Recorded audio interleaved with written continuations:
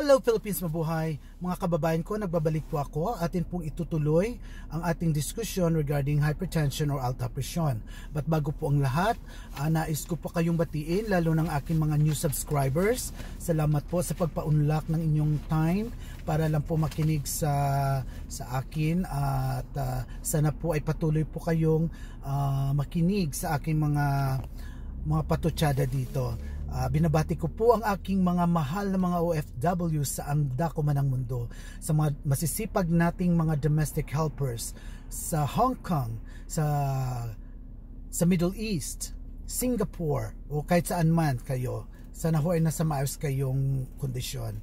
Sa ating mga hard workers or hard laborers sa Middle East din ho.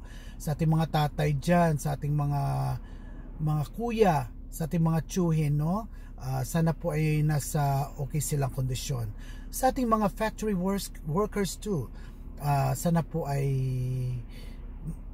okay lang po, uh, patuloy nyo pong minamahal ang iyong trabaho pati yung sarili ninyo.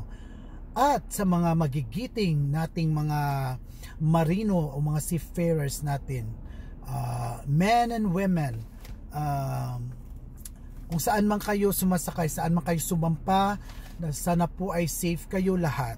Okay, malayo po kayo sa sa sakit lalo na sa panahong ito. So ngayon mga kababayan, ating itutuloy ang ating diskusyon about sa alta presyon.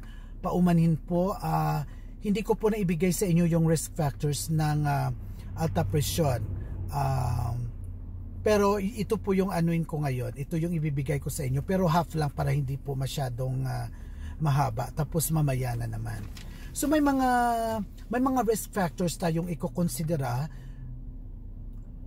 para ho tayo ma, magkakaroon ng uh, alta presyon or yung mga risk factors na ito ay may uh, nagpapatunay na ikaw ay medyo uh, na ikaw ay o ang pamilya mo ay risk talaga sa hypertension unang-una age o yung edad. Pag tumatanda na po tayo, uh, papaalam ko lang sa inyo, ang ating katawan po ay umiiba din po. Yung physiological changes natin, umiiba yung mga yung metabolic system natin, umiiba din ho. Katulad din po ng, ng punong kahoy. Pag uh, medyo matanda na, umi, umi, umiiba na rin po yung forma niya. Ang ating katawan ganun din po. Pero uh, dapat po tayong maalaga sa ating katawan at ingatan natin. Dahil pag uh, nagkasakit po tayo uh, baliwali na, baliwala na po ang lahat. Okay? So yung edad uh, isa yon number one talaga yon uh, pag nagkakaedad na tayo uh, may mga changes physiologic changes. Tapos mayroon na tayong mga sakit-sakit sa katawan. Uh, at saka isa na rin doon yung uh, hypertension lalong-lalo na po nung bata-bata pa kayo o tayo, mayroon na tayong experience ng alta presyon. So, expect nyo na po na pagtanda mo sa siguro sa mga 50s or 60s, medyo tataas na po yun. Kailangan nyo na po na magpasuri sa doktor at least every 6 months or every year o hindi kaya every 3 months. Depende naman po yan sa inyong doktor. Um, tapos, yung pangalawa, ito yung rasa or lahi. May ibang lahi po ng mga tao na high risk talaga sila na magkakadevelop ng alta presyon or hypertension. Ito po yung limbawa, pag may lahi po kayong mga blacks or itim, um, as compared po sa ibang lahi or sa lahi nating mga Asiano yung, or lahing mga puti, yung uh, lahing itim o yung mga black Americans or African heritage na mga tao, high risk talaga sila na magkakaroon ng hypertension kasi yun nga uh, it's based on race. Ang race nila ay high risk. Yung family history pag ang pamilya no po ay maraming hypertension na mga na sakit na hypertension sa inyong pamilya limbawa sa mother side mo yung mga kapatid niya o yung nanay tatay niya or mga tsuhin niya nagkaka-stroke or hypertension or cardiac arrest or heart attack uh, malamang po uh, mataas po ang yung risk na magkakaroon din ng hypertension. Pag kayo po ay mataba, sinasabi ko talaga sa inyo uh, na dapat tayo maging physically active kasi po ma makontrol ang ating weight at saka uh, may maganda, maganda po ang epekto ng physical activities or exercise sa ating katawan lalo na sa ating uh, uh, alta presyon. Pero pag uh, may medication mas mabu- napakabuti po.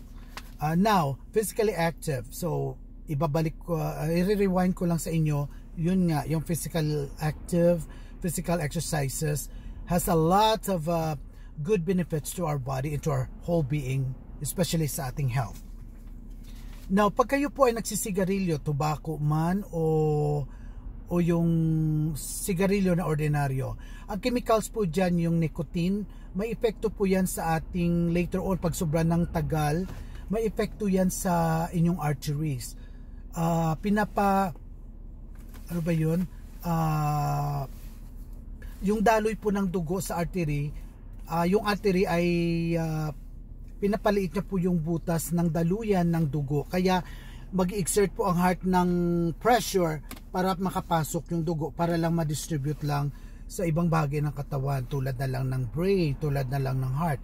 Eh kung may mga blockage na or constriction, uh, at saka for how many years na in the long run, nagda-damage na yung arterial wall, So yun yun ang sanhi ng uh, alta presyon tapos magkakaroon na po tayo ng mga ng mga health issues like hypertension or heart problems or stroke. 'Di ba sinabi ko na yun sa inyo sa previous vlogs?